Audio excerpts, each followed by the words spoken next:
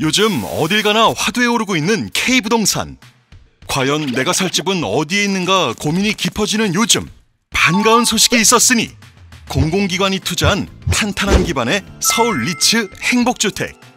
서울 리츠는 지난 4월 2021년 1차 서울 리츠 행복주택 입주자 모집 공고를 진행하고 오는 8월 27일 당첨자 발표를 앞두고 있습니다. 그런데 말입니다. 과연 서울 리츠란 무엇일까요? 리츠란 투자자들로부터 자금을 모으고 모은 자금을 부동산에 투자한 뒤 수익을 투자자에게 배당하는 부동산 투자 회사를 의미합니다. 1989년 영구 임대주택이 처음 도입된 이래 공공 임대주택 공급 확대는 정부의 중요한 주택 정책 수단이었으며 선거 때마다 핵심적인 공약으로 채택되어 왔죠. 하지만 공공 임대주택을 공급하기 위해서는 부지 확보는 물론 건설 비용 등 막대한 재정이 투입되어야만 합니다.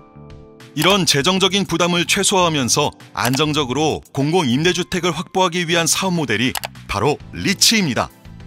SH 서울주택도시공사는 지난 2016년 서울 리츠 1호 출범을 시작으로 토지를 확보해 리츠에 임대해주는 것은 물론 리츠 설립과 운영에도 주도적으로 나서 공공성을 담보하고 있습니다.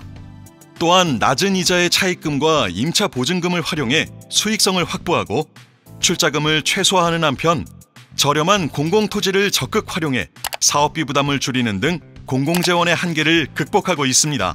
무주택 서민들은 시세보다 저렴한 가격에 안정적인 주거 생활을 할 수 있고 투자자들은 투자금에 수익을 낼 수 있어 모두가 윈윈할 수 있는 주거 안정 대책이라고 볼 수 있겠네요. 서울 리츠를 통해 마련된 재원은 거복지 사각지대에 있는 시민들에게 우선적으로 공급됩니다. 임대료는 주변 시세의 약 60에서 80% 수준으로 입주 자격 조건 충족 여부에 따라 최대 6년에서 20년까지 안정적인 거주가 가능합니다. 서울 리츠 관련 모집 일정 등 자세한 정보 확인 및 청약 신청은 SH 서울주택공사 홈페이지에서 인터넷 또는 모바일로 가능하니 미리미리 체크하세요.